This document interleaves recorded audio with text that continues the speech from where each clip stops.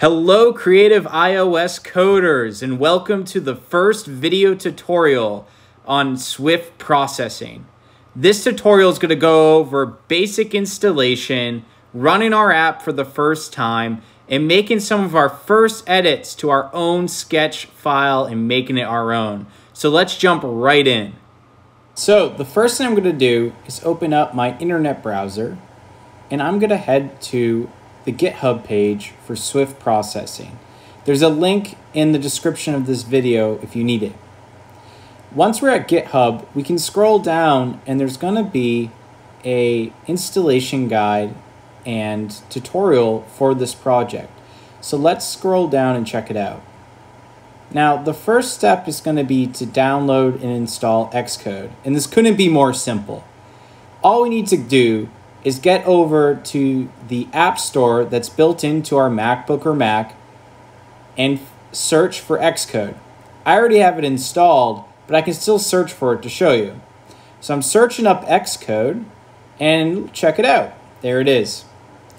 Now, you'll want to click download. Mine just says open, but yours will say download if you've never downloaded it before. And please be patient. Xcode is massive.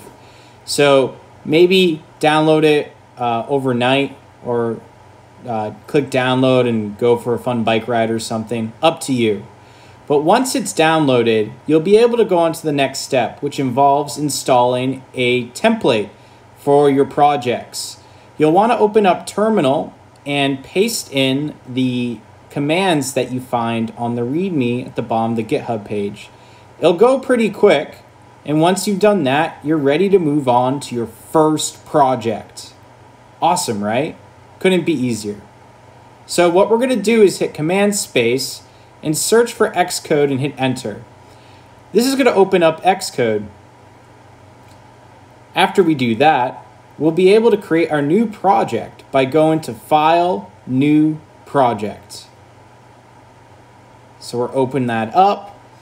And once we've done that, gone to File, New Project, because we've run the installation guide, if we scroll down to the bottom, we will see that there is a Swift processing option.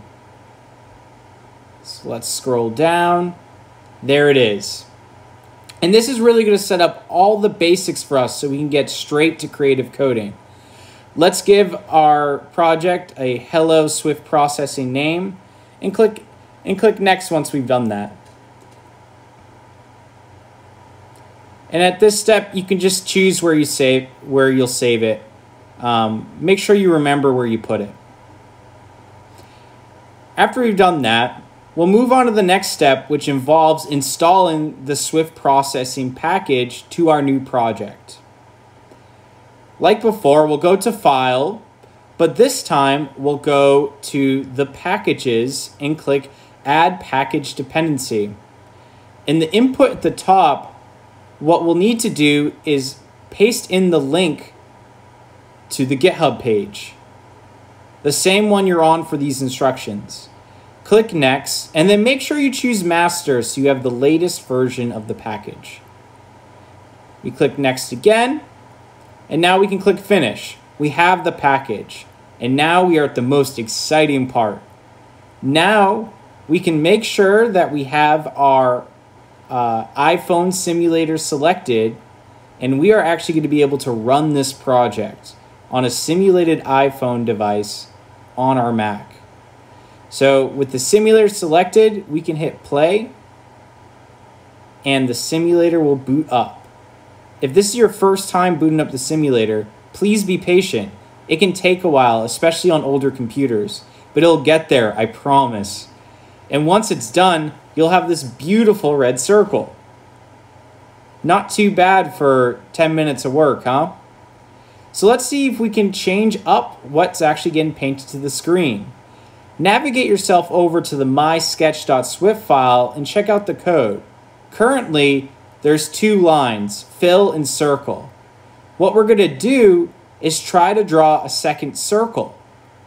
We're going to do it the same way, but this time we're going to send three different numbers instead of the ones you saw in the first line. The first number is the x location, the second number is the y location, and the third number is the size. So this time we get a much bigger circle farther to the right and farther down the screen. We can make things even more interesting by leveraging more functions available to us in Swift processing. Let's draw another circle and this time use the random function so that every time it draws to the screen, we choose a random position to draw the circle. Now this is going to look pretty crazy because the thing about our draw function is it's running at 60 times a second.